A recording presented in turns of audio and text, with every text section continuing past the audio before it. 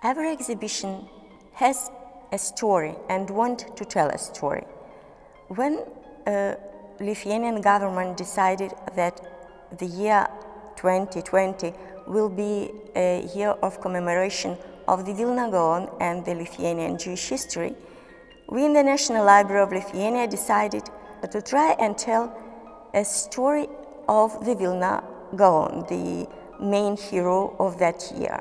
And we thought it would be quite easy to do because the National Library of Lithuania has the greatest collection of the Gaon's work in the whole country.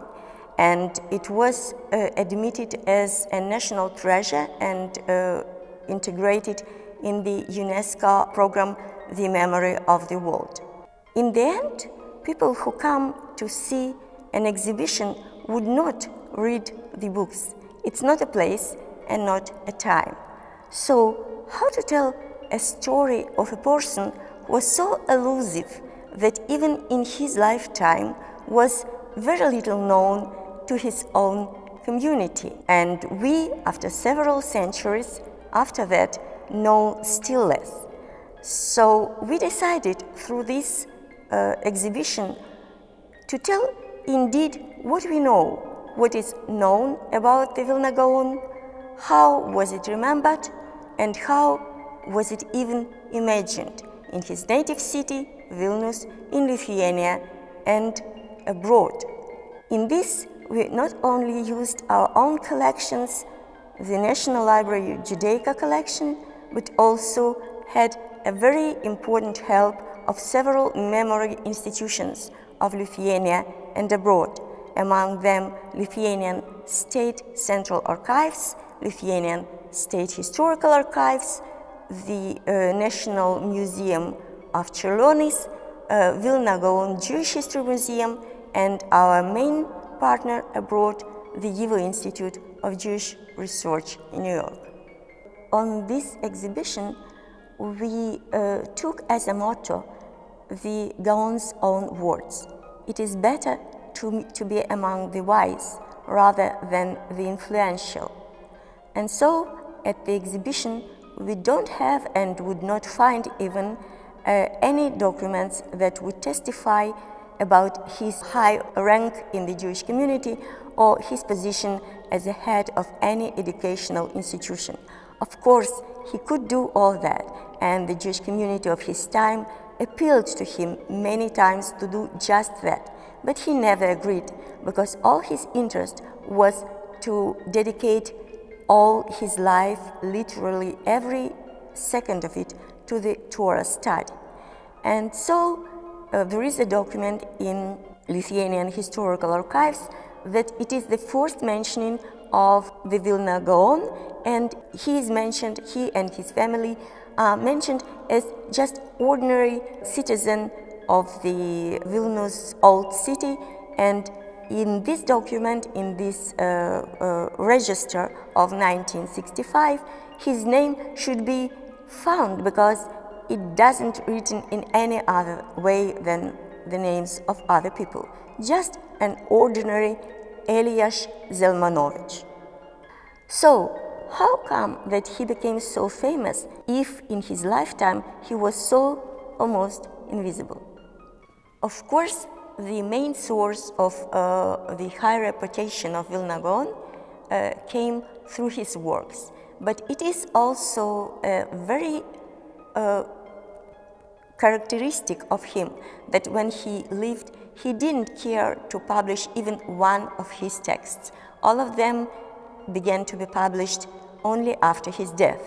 And the first of them, which was published in Lvov in 1799, that means two years after the death, gave the name to this exhibition because the work was called Shenot Eliyahu, the years of Elijah. Of course, the name was given not by Gaon himself, uh, but it was the first commemoration of him in the name of his published work. And from that time on, it was a commentary to Mishnah, to the Jewish legal code, and from that time on, Through the whole 19th century and the 20th century, in Lithuania and abroad, there appeared a lot of his publications, and all of them were prepared by his disciples. Among them were also his sons and very careful editors. The works of Vilna Gaon are being published till that day, although not in Lithuania. Here we see the unprecedented variety of genres of religious literature, rabbinistic literature, in which the disciples and editors found and published the manuscripts of Vilna Gaon. It is very unusual in Jewish religious culture to be a specialist in so many fields, and the Vilna Gaon was not only a very profound scholar, but also a great erudite. It is highly symbolic that the last Vilna Gaon's work published in Lithuania and uh, it was in Kėdainiai in 1940, is at the same time one of the last Hebrew printings, uh, uh, printed books in Lithuania at all. In summer 1940, the Soviets annexed Lithuania and immediately began their politics of oppression of Jewish religious culture and of Hebrew culture. This published Vilna Gaon's work is one of the last testimonies of the beautiful period of the Jewish culture in Lithuania. We would be amiss not to show one of the great works of uh, the Vilna Gaon for which he was maybe the most famous in the whole world of Jewish religious literacy. It is his work with the old and sometimes incorrect versions of the Babylonian and Jerusalem Talmuds. He made numerous corrections to the erroneously written pages of the Talmuds and also wrote such important glosses to it that shortly after his death all the editions of the Talmuds were published only with his commentary. Although Vilna Gaon never taught in any yeshiva and didn't establish any yeshiva, still he had a very small, I would say, elite circle of his very devoted disciples. This group of disciples were, were responsible for the publishing and preparing to publication and publishing his work and in that way presenting his legacy to the world. But they thought of something else. They decided that not only they personally should benefit from the Gaon's method of study. And this method could be presented in very brief words. It is actually to be so deep in the texts that you don't have really any time for the external world. So all your time should be given to the texts and to their very deep analysis. In that way, they wanted to, and they did establish a series of new type yeshivas that later were called Lithuanian yeshivas. Not only because, maybe mainly not because of their geographical location, because some of them were in nowadays Belarusia. Among them, the first of them, the famous Volozhin yeshiva, that was established in 1802 by the most devoted disciple of the Vilna Gaon, Chaim ben Yitzhak. But also throughout the 19th century and the 20th century, uh, such yeshivas were established in geographical Lithuania as well. We see here in that exhibition the world of Lithuanian Jewish yeshivas, maybe a small part of that world. And we wanted to show that because in all of them, Vilna Gaon's name was a sacred legacy.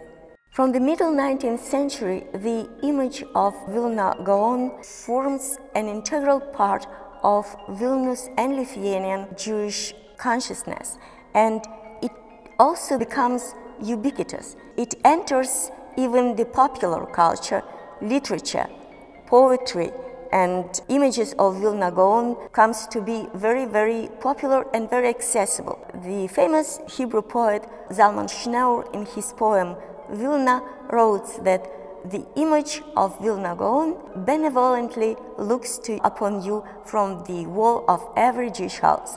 We have a literal testimony to that, a popular poster, you can call it the epitome of popular culture, that uh, depicts the interior of typical Jewish home, and we indeed see that there are portraits, and one of them, in a very special place, is a portrait of Vilna Gaon.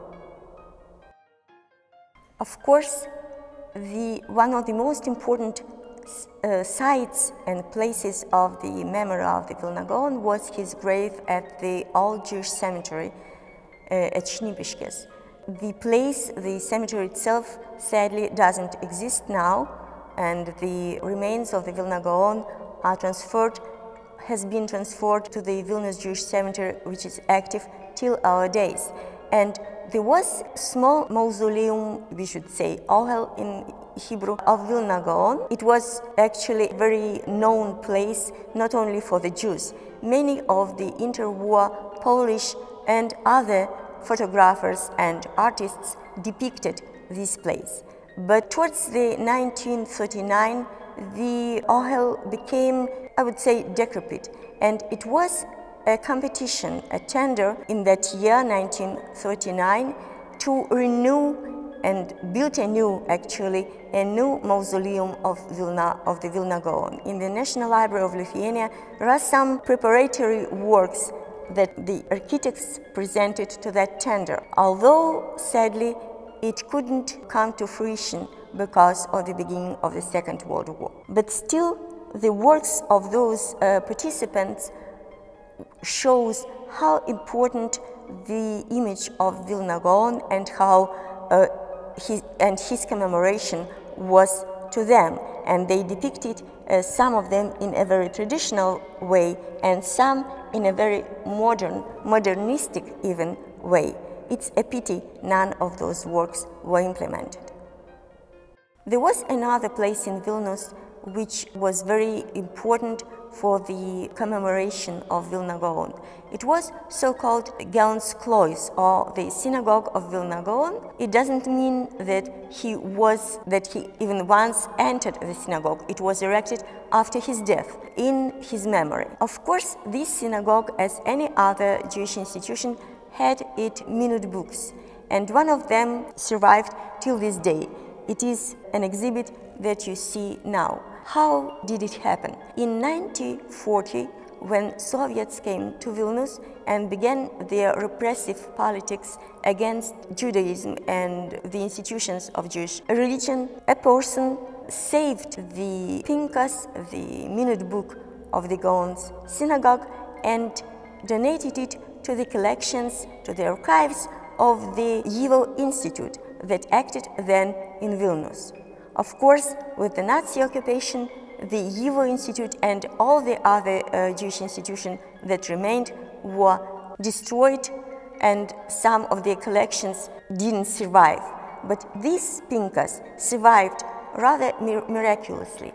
Famous Yiddish poet Avrom Sutzkever, before he left the Vilnius ghetto to join the partisans, he found and hidden the Pinkas in at the territory of the Vilna Ghetto.